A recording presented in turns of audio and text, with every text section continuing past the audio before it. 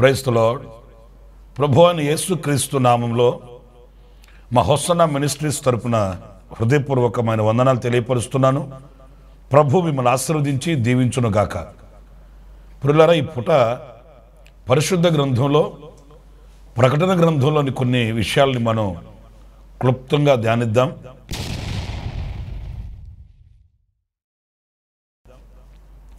ప్రాముఖ్యంగా ప్రకటన గ్రంథంలో ఏడు సంఘాల యొక్క అనుభవాల్ని మనం సుస్పష్టంగా గమనించగలుగుతాం. ఈ ప్రకటన గ్రంథాన్ని మనం చదువుతూ ఉన్నప్పుడు ప్రభు రాకడను గూర్చిన ఒక అవగాహన మనకు కలుగుతుంది. ఆ రాకడకు సిద్ధపరచబడవలసినటువంటి ఆధ్యాత్మికమైన విలువల్ని మనం సొంతం చేసుకోగలుగుతాం. ఆయన రాకడ కొరకు మనం ఎలా సిద్ధపరచబడాలి? ఎలా మనం ఎదురు చూడాలి?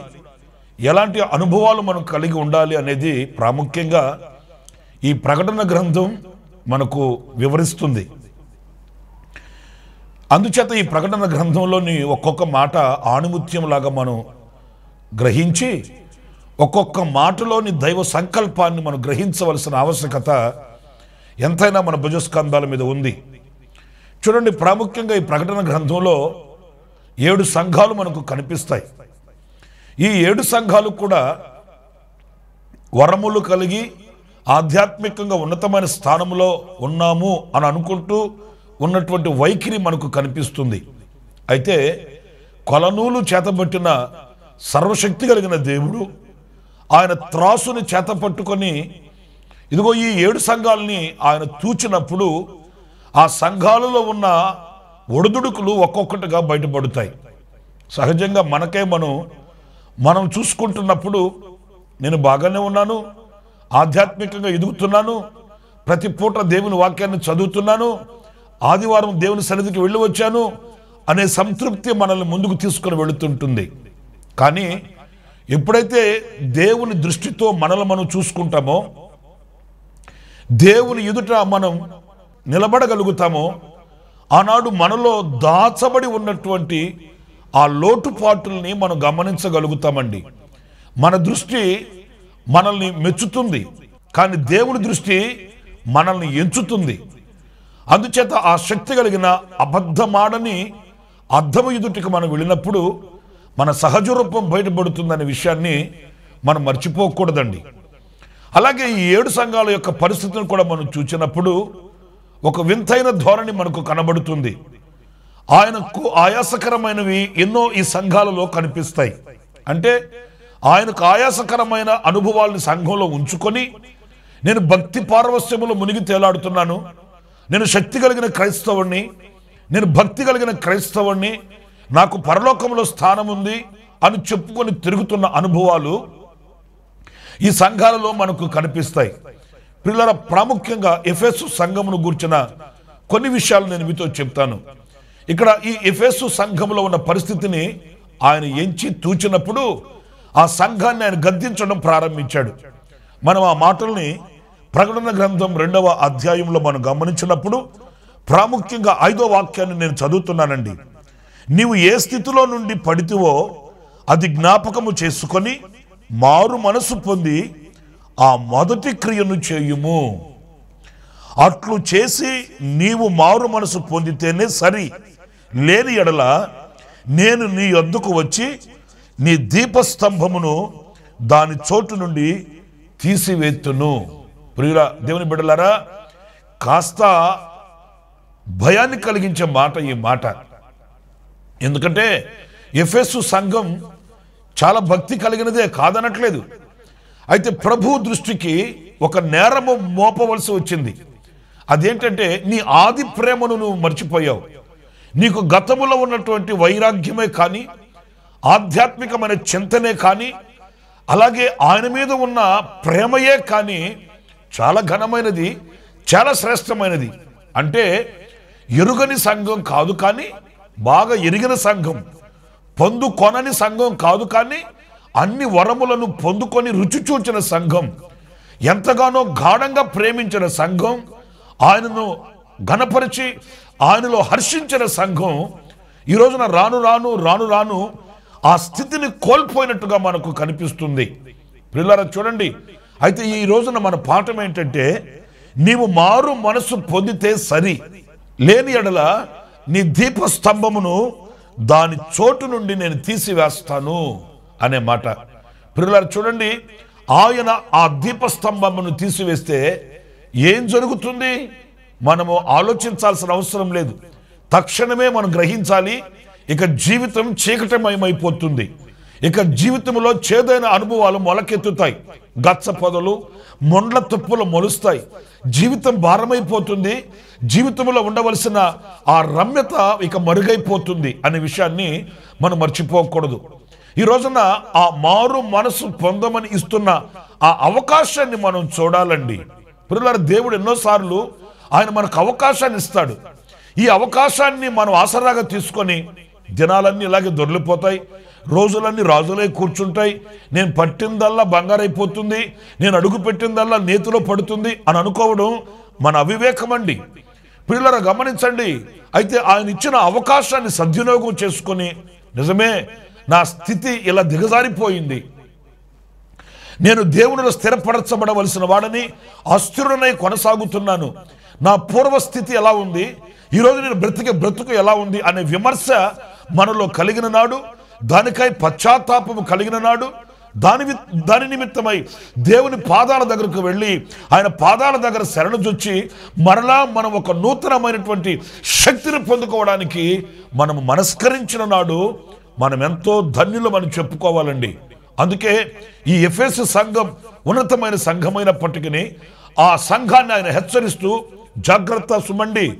నీవు మారు మనసు పొందకపోతే ఆ దీపస్తంభమును తీసివేస్తాను అనే మాట ఆనాడు ఎఫ్ఎస్ సంఘానికి వ్రాసినప్పటికీ ఆ స్థితిలో నిలిచిన వారందరికీ గొడ్డలి పెట్టు ఈ మాట అనేది మనం గ్రహించాలి. ఒకవేళ ఇంతవరకు కూడా దేవుడు మనకిచ్చిన అవకాశాన్ని జార విడుచుకొని దేవుడు మనకిచ్చిన ఆయుష్యాన్ని పోగొట్టుకొని దేవుడు మనకిచ్చినటువంటి ఆ యొక్క కృపని మనం పోగొట్టుకుని వారమై ఒకవేళ అంచులలో నిలిచి ఉంటే ఈ కడవరి క్షణాలలో అయినప్పటికీ కూడా ఆయన మరొక్కసారి మేలుకొలుపును కలిగిస్తున్నాడు. ఈ అవకాశాన్ని ప్రభు మనకు అనుగ్రహిస్తున్నాడు. పశ్చాత్తాపపడి ఆయన వైపు తిరిగే అవకాశాన్ని ఆయన అనుగ్రహిస్తున్నాడు. ఆ అవకాశాన్ని సద్వినియోగం చేసుకుంటే మనం కనికరింపబడతాము కటాక్షింపబడతాము దీవించబడతాము. మరలా మన ఉన్నతమైన స్థానానికి మనం ఎక్కగలము అనే విషయాన్ని మనం గ్రహించాలి. ప్రియమైన దేవుని బిడ్డలారా మరొక మాట నేను పరిశుద్ధ గ్రంథంలో నేను మీకు జ్ఞాపకం చేస్తాను. కీర్తనకారుడు పరిశుద్ధుడు దైవజనుడు దావిది మనందరికీ తెలుసు. చిన్ననాటి నుండి ఎంతో భయభక్తులతో పెరిగినవాడు ఎంతో ఆశ ఆకాంక్షతో నిలిచినవాడు దేవుని మీద అచంచలమైన విశ్వాసము కలిగిన వీరుడు అని చెప్పుకోవడానికి సందేహం ఏమీ కూడా లేదు. అయితే చూడండి ఎలాంటి భక్తుని జీవితంలోనైనా ఒక చీకటి దినం వస్తుంది ఒక మబ్బు దినము కలుగుతుంది ఒక శోధన కాలం వస్తుంది. ఆ కాలాన్ని గుర్తించి మనము గనక వివేకముతో ప్రవర్తించకపోతే పెను ప్రమాదంలోనికి మనం వెళ్ళవలసి వస్తుందండి. చూడండి ఈ దావీదు కూడా ఒక రోజున ఒక చీకటి అనుభవాన్ని చవి చూడవలసి వచ్చింది. అది మనందరికీ విదితమే. కానీ ఆ విషయంలో ఆ మేలుకొలుపు కలగగానే దైవ సావకుని యొక్క గద్దింపు అతనికి చేరగానే వెన్ను వెంటనే ఆయన పశ్చాత్తాప పడ్డాడు. దేవుని యొక్క కటాక్షం కొరకై ఆయన అర్జించి ప్రార్థించాడు. ఆయన కన్నీళ్ళు పెట్టి ప్రలాపించాడు. మంచిదే. అయితే ఆనాటితో ముగించబడలేదు కానీ ఎన్నో కీర్తనలలో ఆయన యొక్క అవిధేయతను ఒప్పుకున్నాడు. ఆయన యొక్క అవివేకత్వాన్ని ఆయన ఒప్పుకొని దేవుని సన్నిధిలో కనికరాన్ని పొందుకొనిన మాటల్ని మనం పరిశుద్ధ గ్రంథంలో ప్రాముఖ్యంగా కీర్తనల గ్రంథంలో ఆయా కీర్తనలో మనం చదువుతూ ఉంటాం. అతని హృదయంలో నుండి జారువాలిన ఒక ముత్యం లాంటి మాట ఏంటంటే కీర్తనలలో యాభై ఒకటవ కీర్తన పదకొండవ చరణంలో నేను చదువుతున్నాను ఆ మాటల్ని. నీ సన్నిధిలో నుండి నన్ను త్రోసివేయకము. నీ పరిశుద్ధాత్మను నా యొద్ద నుండి తీసివేయకము. ప్రియమైన దేవుని బిడ్డలారా చూడండి ఇక్కడ ఈ దైవ సేవకుల యొక్క చింతన ఏంటి?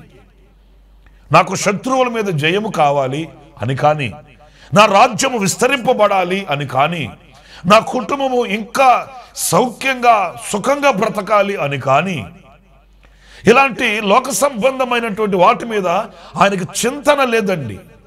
ఎందుకంటే ఒక పశువుల కాపరిగా ఉండి గొర్రెల దొడ్డిలో నుంచి వచ్చిన వాడు గనుక దేవుడు ఆశీర్వదించిన అంత ఘనమైన స్థానము కంటే మరొక ఘనమైన స్థానం ఇంకొకటి లేనే లేదు. అంటే ఒక హీనమైన స్థానాన్ని గుర్తి ఎరిగినవాడు దావీదు ఉన్నతమైన స్థితిగతిని ఎరిగినవాడు దావీదు. అంతకంటే హీన స్థితి లేదు ఇంతకంటే ఘనమైన స్థితి లేదు. అయినప్పటికీ కూడా అతనిలో ఉన్న వాంఛ ఏంటి అనంటే నేను అవివేకంగా ప్రవర్తించాను. నేను వివేకం లేని వాడనైపోయాను. అయిపోయాను అయిపోయాను మృగము వంటి వాడనైపోయాను. అయిపోయాను ఇదిగో నేను పశ్చాత్తాప పడుతున్నాను ప్రభు నీ ఆత్మను నా యుద్ధ నుండి తీసివేయకము. నీ సన్నిధిలో నుండి నన్ను త్రోసివేయకము. ప్రియ దేవుని బిడ్డలారా ఒక్కసారి దావీదిని ఒకవైపున దేవునిని ఒకవైపున పెట్టుకొని మనం పోల్చుకుంటే దావీదు ఎలా ఉన్నాడు ఆ రోజున అంటే అతనికి ఏమీ కొదువలేదండి సౌఖ్యంగా సుఖంగా రాజభోగభాగ్యాలతో అలంకరింపబడి ఉన్నాడు. ఆ స్థానంలో ఆ ఏంటి? నాకేంటి కొదువ? నేను ఏమి ఏం చేస్తే ఏంటి? నేను ఎలాగ బ్రతకలేను? నాకు టాలెంట్ ఉంది నాకు వివేకం ఉంది నాకు అన్ని వరాలు ఉన్నాయి అని ఆయన మురిసిపోవట్లేదు కానీ దేవుడు నన్ను త్రోసివేస్తే ఆయన ఆత్మను నా ఎదురు నుంచి తీసివేస్తే నా గతి ఏంటి అనే భయము కలిగిన వ్యక్తిగా దావీదు కనిపిస్తాడండి. మన పితరుల యొక్క జీవిత చరిత్రలు మనకు దర్పణ పడుతాయి. ఈ రోజున మన బ్రతుకులలో ఇలాంటి భయము మనకు కలగట్లేదు. దేవుడు నన్ను త్రోసివేస్తే దేవుడు నన్ను ఉల్లంఘిస్తే ఆయన నాకు ముఖం చాటు వేస్తే నేను ఎలా బ్రతకగలను? ఆనాడు నా బ్రతుకు ఎలాగా మారిపోతుంది? ఈరోజు ఈ స్థితిలో ఉన్నవాడిని రేపటి రోజు నా దేవుడు నాకు విరోధి అయితే నేను ఎలా సమసమాజంలో నిలబడగలుగుతాను? ఆయన శక్తి చేతనే కదా. ఈ రోజున ఈ స్థానంలో నేను ఉన్నది అనే వివేకమైన మనస్సు మనం కోల్పోయి అహంకారపు మత్తుతో మనం కొనసాగుతున్నామండి. గనుక నా ప్రియమైన సహోదరులారా మన పాత నిబంధన భక్తుడైన దావీదు అంటాడు అయ్యా నీ పరిశుద్ధాత్మను నా యొద్ నుంచి నీవు తీసివేస్తే ఇక నేను అపవిత్రుడినే కదా. పరిశుద్ధాత్ముడు మనలో ఉండి మనల్ని ఒప్పింప చేసి ఆయన మనల్ని నొప్పింప చేసి సత్యములో నుంచి సర్వసత్యములోనికి నడిపించి క్రీస్తుకు కలిగిన సమానమైన సంపూర్ణతకు మనల్ని తీసుకుని వెళ్తాడండి. ఆ పరిశుద్ధాత్ములు మనకు దూరమైతే ఆ దైవ సన్నిధి మనకు మనకు ఎడమైతే ఆ దేవుని కటాక్షం మనల్ని విడిచిపెడితే ప్రియ దేవుని బిడ్డలారా ఊహించడానికి కూడా అది భయంకరంగా ఉంటుందండి. ఎందుకంటే ఆ సర్వశక్తి కలిగిన దేవుని కృపచేతనే బట్టగట్టి బైబిల్ బట్టి బజారులు తిరుగుతున్నాం ఈ రోజున. ఆయన ఆత్మ మనలో ఉండబట్టియే ఈ రంగులు మార్చే లోకములో ఏ క్షణం ఏం జరుగుతుందో తెలియని ఆందోళన కలిగించే అంధకారపు ఈ అనుభవాలలో ఈ రోజున సురక్షితంగా సుభిక్షతో మనము బ్రతుకుతున్నామంటే కారణం ఏంటంటే ఈ వివేకం మనకు కలిగిందంటే కారణం ఏంటంటే పరిశుద్ధాత్ముడు మనతో ఉండి ఆయన మనల్ని చేపట్టి నడిపిస్తున్నాడు. ఆయనే మనకు దూరం అయ్యాడు అనుకోండి ఇక మనల్ని చేపట్టి నడిపించే నాదుడు లేనప్పుడు మనము ఎలాంటి మార్గాలలో నిలవలసి వస్తుంది? ఎలాంటి అనుభవాల్ని చవి చూడవలసి వస్తుంది? ఎలాంటి కన్నిటి సాగరములో మునిగిపోవలసి వస్తుందో ఊహించడానికి కూడా అది బాధాకరంగా ఉంటుంది అనే విషయాన్ని మనం మర్చిపోకూడదు. అందుకే కీర్తనకారుడు నయనా నన్ను దూరము చేయకు నా యుద్ధ నుంచి తీసివేయకు అని ప్రార్థన చేస్తాడు. అంతేకాదు మరొక మాట కూడా నేను మీకు జ్ఞాపకం చేస్తాను. నూట పంతొమ్మిదవ కీర్తన నలభై మూడవ వాక్యం అండి. నా నోట నుండి సత్యవాక్యమును ఏమాత్రమును తీసివేయకము. నీ న్యాయ విధుల మీద నా ఆశ నిలిపి ఉన్నాను దేవుని పరిశుద్ధ నామానికి మహిమ కలుగును గాక పిల్లరా ఈ మాటలు కూడా మనం చూడాలి. ఇందులో నా నోట నుండి సత్యవాక్యమును ఏమాత్రము దూరము చేయకు తీసివేయకు తొలగనివ్వకు అని ప్రార్థన చేస్తున్నాడండి. వాస్తవంగా మన ప్రార్థనలు ఎట్లుంటాయంటే ప్రభువా నా ఇంటిని స్థిరపరచు నా బిడ్డలకి మంచి భవిష్యత్తునివ్వు నా బిడ్డలకి ఐశ్వర్యమునివ్వు నా తర్వాత నా తరాన్ని ఆశీర్వదించు నా సంతతిని నువ్వు గొప్ప చేయండి. ఇలా ఉంటాయండి మన ప్రార్థనలు. కానీ ఈ భక్తుల ప్రార్థనలు మనం గమనించినప్పుడు వాటి మీద వాళ్ళకి దృష్టి లేదండి. వాటి మీద వాళ్ళకి చింతన లేదండి. వాళ్ళకున్న ఆత్మ సంబంధమైన అభిలాష ఏంటంటే నీ సత్యవాక్యమును నా నోటి నుండి తీసివేయకయ్యా. నా ప్రియమైన దేవుని బిడ్డలారా అంటే అర్థమేంటి? నిత్యము అనుక్షణం నీ సత్యవాక్యము చేత నేను నడిపించబడాలి. నా నోట ఎప్పుడు అలాంటి మాటలు ప్రతిధ్వనిస్తూ ఉండాలి. ఈ సత్యవాక్యము నా నోట ఉన్నప్పుడు నా కనులకు వెలుగు కలుగుతుంది నా శరీరానికి జీవం కలుగుతుంది నా మనసుకు వివేకం కలుగుతుంది. ఇన్ని ఆధ్యాత్మికమైన ఆశీర్వాదాన్ని కలిగించే ఈ సత్యవాక్యం. వాక్యంలో ఇదే నూట పంతొమ్మిదవ కీర్తనలో ఒక మాట మనం చదువుతామండి. నీ వాక్యము నా పాదములకు దీపము నా త్రోవకు అది వెలుగు.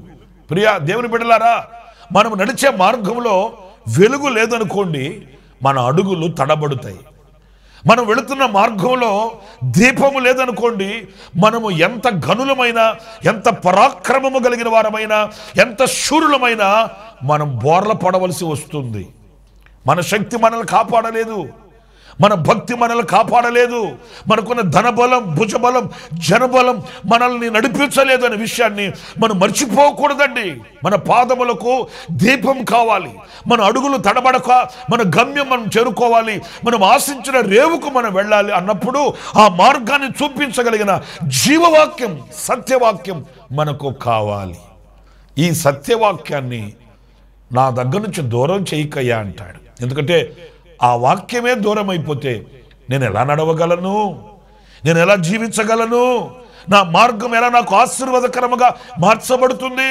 నా మార్గంలో నేను గమ్యానికి ఎలా వెళ్ళగలనయ్యా గనుక నీ సత్యవాక్యాన్ని పిల్లారా ఇదిగో ఈ మాటలు వింటున్న మీలో ఎంతమంది ఆ వాక్యాన్ని హత్తుకొని బ్రతుకుతున్నారు అనే ప్రశ్నకి మీరు సమాధానం చెప్పాలండి. లోకంలో మనము బంగారు ఆస్తి ఇళ్ళు వాకిళ్ళు అందచందాలు ఇవన్నీ సంపాదించుకోవచ్చు. ఇవన్నీ సంపాదించుకొని చీకటి మార్గంలో మనం వెళితే ఆ మార్గంలో దొంగ ఉన్నాడు. ఆ మార్గంలో హంతకుడున్నాడు ఆ మార్గంలో నాశనపుత్రుడున్నాడు వాడి చేతిలో పడక మునిపే ఇదిగో నా దేవుడు ఈ రోజున ఆనాడు ఎఫ్ఎస్ సంఘాన్ని హెచ్చరించిన దేవుడు ఆనాడు దావీదుని హెచ్చరించిన దేవుడు ఈనాడు మనల్ని కూడా హెచ్చరిస్తున్నాడు. నీవు వెళుతున్న మార్గం వెలుగుమయమైనదా జీవవాక్యము కలిగినదా సత్యవాక్యము కలిగినదా? లేక చీకటిలో అడుగు వేస్తూ దైవ ఆశీర్వాదం అనుకుంటూ మోసపోతూ ముందుకు వెళితే ఆ ముందు ఉన్న గొయ్యి మనకు హాని కలిగిస్తుంది. గనుక నా ప్రియమైన సహోదరులరా మనకు వివేకం కావాలి. నేను భక్తిగా ఉన్నాను అనుకునే దానికంటే కూడా ఎంత భక్తిగా ఉన్నానని విమర్శ ప్రతిదినం దేవుని వాక్యాన్ని బట్టి మనం మనకు మనం వేసుకోవడం చాలా ఉత్తమమని దేవుని వాక్యాన్ని బట్టి నేను మీతో చెప్తున్నాను. మనల్ని మనం పరీక్షించుకోవాలి మనల్ని మనం పరిశీలించుకోవాలి మనల్ని మనం విమర్శించుకోవాలి మనకు మనం నొప్పింప చేసుకోవాలి దేవుని సత్యవాక్యం వాక్యమును బట్టి మనల్ని మనం సరి చేసుకుంటే ఒకనాడు మనం సిగ్గుపడనక్కరలేని పనివానిగా ఆయన ముఖమును చూడగలము. ఎఫ్ఎస్ సంఘానికి ఆయన చెప్పిన వాక్కు కూడా అదే. నీవు సరి చేసుకున్నావా? సరి. నా యొక్క ప్రతిఫలం నా యొక్క బహుమానం నీకు అందుతుంది. లేని ఎడల అని ఆయన కఠోరంగా మాట్లాడాడు. ఆ మాటే ఈనాడు మన చెవులకు వినిపిస్తున్నాడు. మనల్ని మనం సరి చేసుకోవాలి. దేవుని సన్నిధిలో మనం పరిశుద్ధపరచబడాలి. ఆయన మహిమ కలిగిన రాకడ కొరకు మనం సిద్ధపడాలి. అలాంటి కృప మనందరికీ ప్రభు అనుగ్రహించును గాక. తలలు వంచండి చిన్న ప్రార్థన. జీవాధిపతి అయిన ప్రభువా మీకు వందనాలు చెల్లిస్తూ ఉన్నాను నాయన. ఈ పూట మీ వాక్యంతో మమ్మల్ని హెచ్చరించినందుకు నీకు స్తోత్రం. నిజమే దీపస్తంభమును నీవు తీసివేస్తే మా బ్రతుకు చీకటైపోతుంది నాయనా. నీ ఆత్మ మా యొద్ద నుంచి తీసివేస్తే మేము ఒక్క క్షణం కూడా బ్రతకలేము నాయనా. నా తండ్రి నీ యొక్క సత్యవాక్యాన్ని మా యొద్ నుంచి తీసివేస్తే మా మార్గాలు చీకటమయమైపోతాయి. అందుకే చేతులు జోడించి సవినయంగా మీ పాదాల దగ్గర శిరస్సు వచ్చి నమస్కరిస్తూ విన్నపించుకుంటున్నాను. ప్రభువా మీరు మాకు దూరం కావద్దు మీ సన్నిధి మాకు దూరం చేయొద్దు మీ ఆత్మ మా యొద్ నుంచి తీసివేయవద్దు. మాతో మీరు మీతో మేము కలిసి సహజీవనం చేయనట్లుగా మమ్మల్ని మేము మీకు సమర్పించుకుంటున్నాం మమ్మల్ని కనికరించి కటాక్షించి మాలో మీకు ఆయాసకరమైనది ప్రతిదీ కూడా మీరు తొలగించమని వేడుకొనుచున్నారు స్వామి. మమ్మల్ని మీరే ఆధిపత్యం వహించి నడిపించమని యేసు నామములు ప్రార్థించి వేడుకొనుచున్నాను తండ్రి. ఆమెన్. ఆమెన్.